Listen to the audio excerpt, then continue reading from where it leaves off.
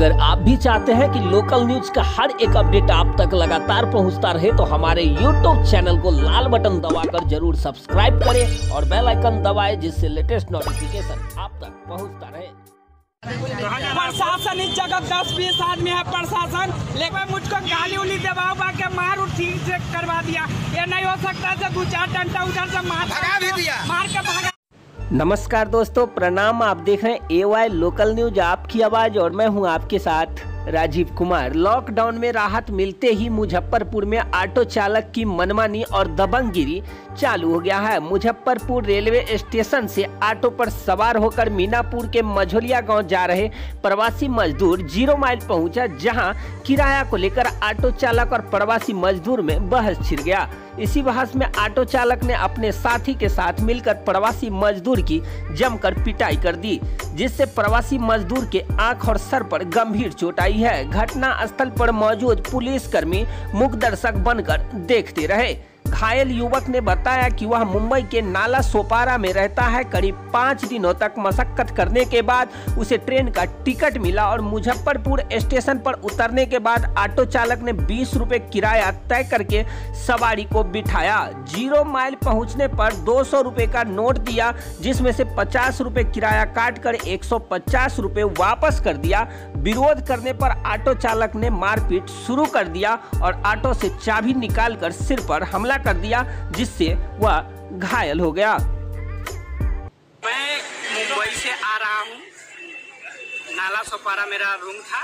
उसमें से मैं सब आदमी वहीं पे है। मैं अकेला आया हूँ नाला सोपारा से। तो मेरा टिकट उकट था तो वहाँ पे लाइन लगा है। ये जैसा धूप है ना, वहाँ वैसा भी। धूप में मैं कम से कम मानिए तो चार से पाँच घंटा मैं धूप में वो कड़ी कड़ी धूप है मुंबई में। उसमें मैं लाइन लगा के मैं टिकट हासिल किया। जी। वहाँ से टिकट साठ करके उसके बाद बस में बैठा। बस ही गए। बस ही से मुझको ट्रेन पर बैठाया गया। जी आज क्या हुआ आपके साथ यहाँ? आज क्या हुआ है? बीस रुपया बोला है ऑटो वाला। वो साला पचास रुपया लिया है मुझसे। पचास रुपया लिया कहाँ से आ रहे हैं? मैं स्टेशन से स्टेशन से आ रहा हूँ। पचास रुपया लिया मुझको दो सौ रुपया जेब में बचा हुआ था। पचास में उसको दे दिया डेढ़ सौ रुपया मेरा बचा हुआ है जेब में। कैसे टूटा ये सब कैसे आपका? ये साला चाबी से फोड़ दिया वो जो गाड़ी का चाबी नहीं है उससे क्यों मारा? दिया। क्यों क्यों मारा? यही मैं बोला हूँ भाई बीस रुपया बोला है तो पचास रुपया क्यों ले रहा है आप? तो वो बोल रहा है डायरेक्ट सब इनको सब बोल दिया है पुलिस सब गए हैं गार्ड सब। तो वो सब बोला है से बोलो हमको गाली दिया है। अब ड्राइवर तो साला झूठ बोलबे करता है। और वो अपना कैसा भी वो पैदा करे उसका बाप मतारी लेकिन साला ड्राइवर लेकिन बोलता है। फिर पुलिस का क्या भूमिका था यार? मैं पुलिस को जैसे ही मैं इन्फेस्ट कर बोला है उससे मेरा चाचा जी है। हाँ, मेरा चाचा जी है यहाँ पे होम गार्ड के काम करते हैं। आप सब आइए मुझको साथ दीजिए। ये सब चाचा जी से अलग से मुँह देख रहे हैं। ये नहीं कुछ नहीं मुझको बोले। हैं कोई मदद नहीं किया कोई मदद नहीं किया वो देख रहे हैं मार मार रहा है मुझको। लेकिन वो कुछ नहीं बोले।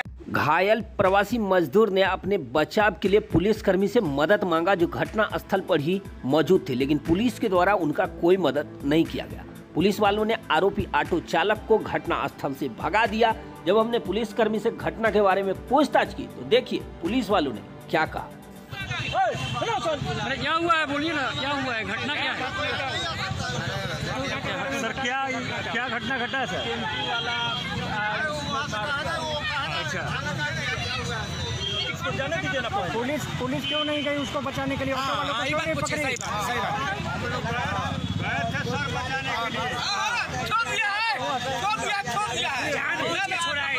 एक बार कि चलो थाना पर थाना पर बाहर कैसे गया आप लोग हैं